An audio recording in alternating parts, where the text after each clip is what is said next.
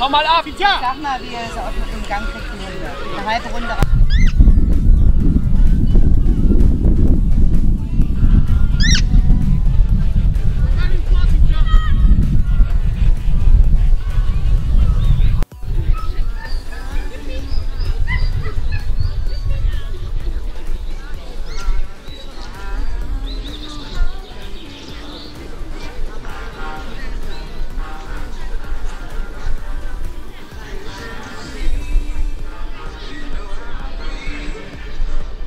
Katalog Nummer 36.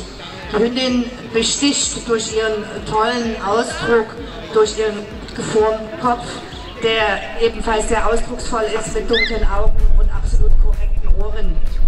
Die Hündin Nummer 38, ich möchte das hier betonen, ist die Vize-Jungkünstlerin in Holland. Eine Hündin, die mir ebenfalls sehr gut gefällt. Sie ist Präsentation, wobei sie unterlegen ist in der Erhabenheit äh, während der Gangwerksprobe. Aber eine sehr schöne Hündin.